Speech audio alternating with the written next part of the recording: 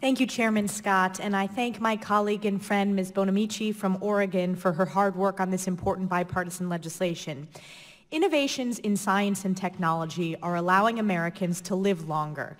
In fact, the average life expectancy in America today is higher than in any other period in history, and our nation's senior population is expected to double by 2060. I proudly represent a district that has one of the largest constituencies of older Americans. So I am pleased to be co-leading this bipartisan legislation before us, which reauthorizes the Older Americans Act. Since 1965, this statute has provided a wide range of social and nutrition services for Americans age 60 or older. These services help older Americans lead healthy and independent lives by offering meals, job training, health promotion, caregiver support, transportation, and more. Included in this legislation is language from my bipartisan bill with Congressman Levin encouraging the use of caregiver assessments to identify the needs of family caregivers. This individualized approach to care will ensure that both caregivers and those who require assistance are provided tailored support to achieve the best possible health outcomes. Additionally, it includes long overdue updates from the Younger Onset Alzheimer's Act I co-led with Congresswoman Rice.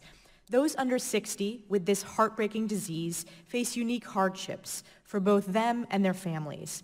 This legislation ensures individuals of any age living with Alzheimer's receive full access to the services and support provided by the Older Americans Act. There is another group of older Americans in this country that we must not forget, the nearly 80,000 Holocaust survivors who live among us.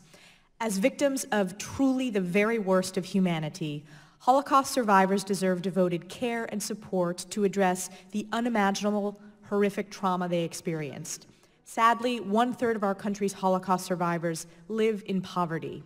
This amendment in the nature of a substitute works to address the needs of aging Holocaust survivors. Specifically, the amendment codifies an existing National Technical Assistance Center devoted to expanding the capacity of the Aging Network to meet the needs of aging Holocaust survivors, veterans, and survivors of historical trauma. These men and women have survived unconscionable suffering. Yet many continue to live with physical and emotional scars from the horror they faced. This amendment acknowledges their resilience and seeks to offer opportunities that allow them to live healthy, dignified, and independent lives through their elder years. Additionally, the amendment recognizes that OAA nutrition programs should meet the religious, cultural, or ethnic dietary requirements of all older Americans. Alongside the many changes we make to strengthen and improve the underlying bill, I am deeply encouraged that this committee will come together to recognize the unique risk institutionalization presents to Holocaust survivors. Including our bipartisan provision is essential to upholding the very spirit of this law. I urge my colleagues to vote yes to this amendment. In doing so, we reaffirm our commitment to our nation's older generation. Thank you, and I yield back.